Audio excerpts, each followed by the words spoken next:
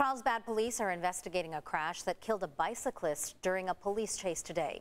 It happened yesterday, rather, on Carlsbad Boulevard near Palomar Airport Road. Investigators say a state parks officer was chasing a speeding motorcyclist when the motorcyclist hit and killed a man riding a bicycle. The 28 year old motorcycle driver and his passenger were hospitalized with serious injuries. That isn't the only fatal bike crash Carlsbad has seen in the past week and a half. Tonight, the loved ones of Christine Embry spoke out during the Carlsbad City Council meeting. She was killed in an e-bike crash while riding in her neighborhood on August 7th. CBS 8's Jasmine Ramirez attended tonight's meeting and shows us the changes her family hopes to see. The crash happened here at the intersection of Basswood Avenue and Valley Street. It's also where you'll find this memorial filled with flowers, notes, and candles. Christine Hawkenbree was 35 years old. She was riding with her 16 month old daughter when she was hit by a car.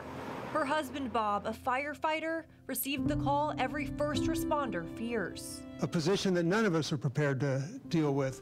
His wife and daughter had been hit while riding a bicycle.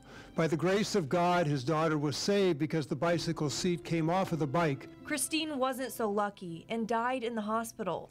Two trauma surgeons with a combined 70 years experience said it was the worst trauma they had ever seen. Her husband spoke at tonight's city council meeting. It wasn't the first time he stood at the podium. Uh, I came here a month ago to discuss two topics, public safety and the speeds at which people travel through neighborhoods. I uh, talked to you about the trauma that I carry as a 10-year firefighter paramedic.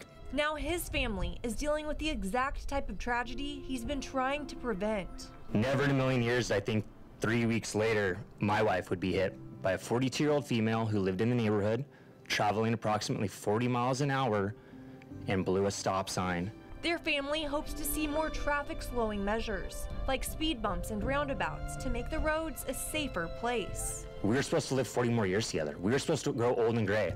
My daughter, who was running around, doesn't have a mom. No one should have to suffer. Please don't let my wife's loss of life go in vain. The city is gathering speed and traffic data for the areas where these two fatal bike crashes happened. Both crashes are still under investigation. Reporting in Carlsbad, Jasmine Ramirez, CBS 8.